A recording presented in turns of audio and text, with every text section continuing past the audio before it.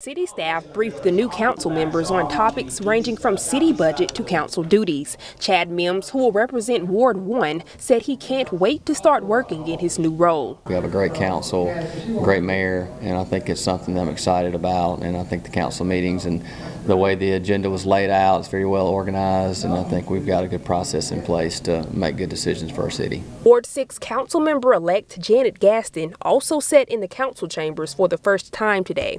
I've been looking forward to it for a long time, and it it it kind of exceeded my expectations.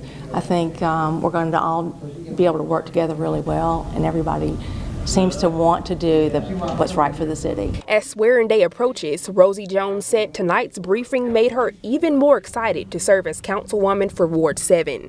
I can't wait to be sworn in so I can get to work. I have a lot of work to do.